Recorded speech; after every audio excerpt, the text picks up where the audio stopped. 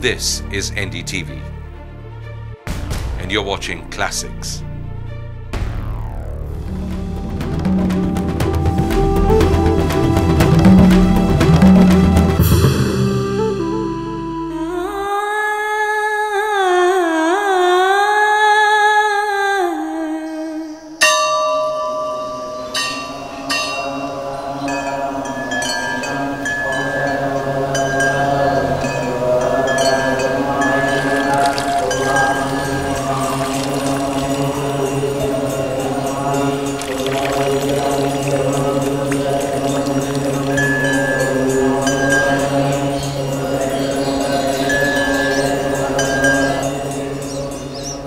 मुहर्रम के आखिरी दिन हम पहुँचे अहिल्याबाई होलकर के शहर महेश्वर। उस इंडिया की खोज में, जहाँ अब भी वो मिली जुली संस्कृति, वो मिली जुली सभ्यता ज़िंदा है। इतनी ज़िंदा है कि यहाँ के मुसलमान और हिंदू मिल के एक दूसरे के त्योहारों में शामिल होते हैं और यहाँ तक कि हिंदू ताज़िया बनाते हैं मुसलमानों के साथ और वो ताज़िए नर्मदा नदी जो अति पवित्र नदी हिंदू, हिंदुओं के लिए मानी जाती है, इसमें आके इनका विसर्जन होता है।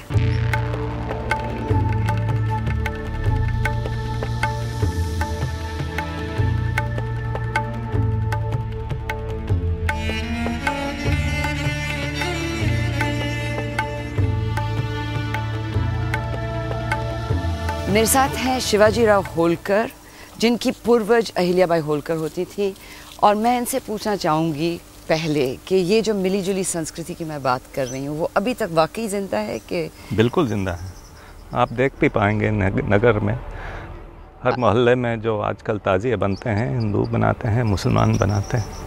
अच्छा अहिल्याबाई होलकर के बारे में कहा जाता है कि हिंदू धर्म के लिए उन्होंने इतना किया कि उनका नाम ही लेना वंदना है कि पुण्य श्लोक जिनको कहा जाता है। तो इससे कई लोगों कई हिंदुओं को ऐसा लगता है कि उन्होंने मुसलमान के खिलाफ बहुत काम किया है। नहीं नहीं ऐसा है ऐसे ऐसी बात नहीं है ऐसी बात नहीं है। उन दिनों में मुसलमान महेश्वर में थे जो अपने बुनकर की समाज जो होते हैं आधा से ज़्यादा मुसलमान हैं और वो उसी वक्त आ गए थे और माँ साहब ने उनको भी पाला है सबको पालते थे जो उनके पॉपुलेशन थे। बाबरी मस्जिद के गिराए जाने के बाद ऐसा लगा कि हिंदू मुस्लिम सद्भावना अतीत की बात हो गई थी। लेकिन महेश्वर में इसका कोई असर ना हुआ।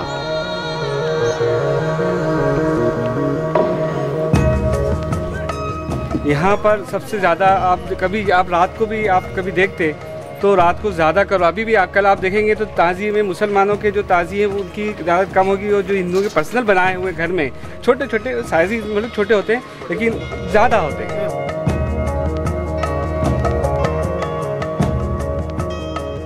जो बाबरी मस्जिद के गिराने के बाद जो माहौल बिगड़ा था देश में उसका कोई बिल्कुल नहीं असर- यहाँ तो कुछ भी नहीं है। उस समय में कुछ असर भी कुछ असर नहीं। ऐसा क्यों? क्योंकि लोगों को यहाँ के लोग जहाँ तक मैंने जो देखा है वो मेच्योर अच्छे हैं। इस चीज़ में अंडरस्टैंडिंग अच्छी है लोगों के अंदर। कुछ जहाँ जहाँ तक ऑल ओवर इंडिया के ही लोग सब अच्छे हैं लेकिन ये लोग कुछ जो राज लोग राजनेता लोग हैं वही इनको मिसगाइड करते हैं। तो मिसगाइड में लेकिन माँ साहब का यहाँ के लोगों से यहाँ के लोग माँ साहब से सीखे हैं सारी चीज़ें। तो उनको माँ साहब के टाइम से ही सारी चीज़ें सही और हकीकत चीज़ें उनको नज़र आती रहीं। तो उन्होंने ये चीज़ देखी कि नहीं ये चीज़ गलत नहीं है। तो आप लोग भी हिंदुओं के त्योहारों में शामिल होते जी हैं? सारे लोग यहाँ पर होली हर- हर होते हैं हैं जो हैं। अच्छा। गणपति और ये माँ साहब के ज़माने से ये ये चला आ रहा है। तो आइंदा कोई खतरा आपको नज़र आता है? नहीं यहाँ के किसी मुसलमान को ऐसा नहीं है।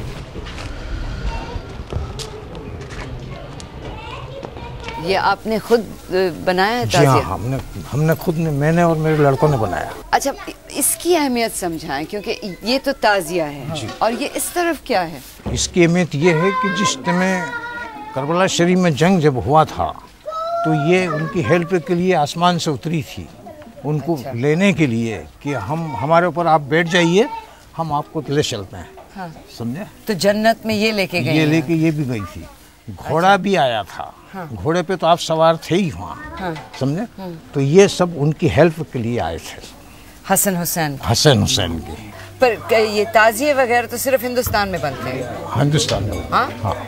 करबला में भी नहीं बनते नहीं वहाँ मातम होता है शबीत होती है। है छबील पिलाते हैं हाँ। मातम होते हैं ज्यारत होती है। तो आपने सीखा कब और कैसे? ये हमारे पिताजी के टाइम से। हमारे पूर्वजनों से आ रहा है। तो मतलब जब से यहाँ महेश्वर में मुसलमान है तब से ये जी परंपरा है। परंपरा चली आ रही है। और इसमें हिंदू भी शरीक होते हैं। बहुत ज़्यादा फिफ्टी परसेंट पूरी हेल्प करते हैं। रोज़े भी रखते हैं। रोज़े भी रखते हाँ? हैं रोज़े भी रखते हैं। पर मुहर्रम में रोज़े होते हैं क्या? हाँ होते हैं। और वैसा ही रोजा जैसे रमज़ान में होता है? हाँ वैसे ही रोजा बिना पानी के? बिना पानी खाने के कुछ नहीं और हिंदू भी रखते हैं? हिंदू भी रखते हैं। तो क्या क्या होता है ये पिछले दस दिन में क्या क्या मसीहों में बस ये कि उनके आका हुसैन के शान में जो है उनके जो गम जो होता है जो उनके साथ वहाँ घटना घटी वहाँ वो सब बयान होता है। दोहराए जाते हैं। दोहराया जाता है। सब वो वाकया जो होता है शुरू एक तारीख से लेकर नौ तारीख तक उर्दू तारीख। जंग दस दिन की थी क्या? जंग तीन दिन की थी मगर बुलाया था उसने एक तारीख को। अच्छा। जंग हुई तीन दिन हाँ। चाँद की तारीख से सात तारीख से नौ तारीख तक जंग हुआ। शिवाजी राव होलकर अहिल्याबाई के मंदिर में आरती करने के बाद अपने घर का ताजिया उठाते हैं मुहर्रम के दिन।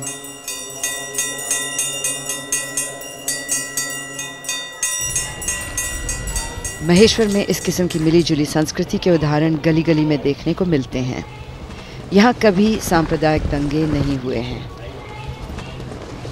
आप इस्लाम को मानते तो नहीं हो? नहीं इस्लाम तो नहीं है पर महत्व तो देते हैं। महत्व देते हैं? किस तरह से देते हैं? मुहर्रम के अलावा और सिर्फ़ मजार पे पे? मजार पे जाते हैं अगरबत्ती वगैरह लगाते हैं। हाँ। और जैसे इनके और इनके जो दस दिन की जो इबादत इबादत करते हैं हाँ। उसमें परिवार के लोग रोज़ा भी रखते हैं। हाँ। तो आज आपका रोजा है क्या? नहीं हमारे घर में से है। घर में से? हाँ हमारी पत्नी का। पत्नी का रोजा है। अच्छा और ये कब से कितने सालों से ये परंपरा ये तो मैं कुछ कह नहीं सकता सर। हाँ। करीबन मेरे ध्यान ध्यान से तो दो एक सौ साल तो लगभग हो गए हैं इस अंदाज अच्छा।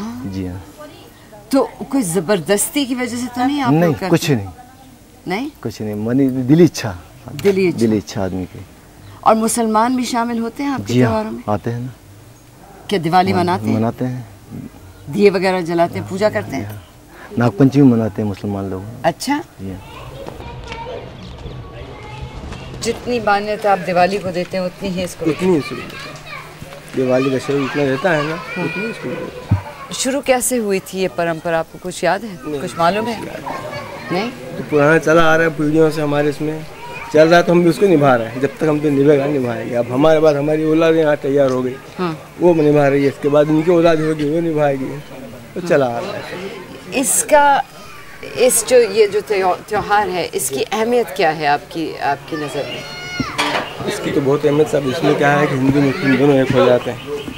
यानी बड़े प्रेम से सौहार्द हो तो बनता है ये। इसमें एक दूसरे को बिल्कुल सब ये जैसे दो तीन मुस्लिम भाई यहीं भी आए हुए हैं यहाँ पे काम करते हैं हम लोग भी काम करते हैं।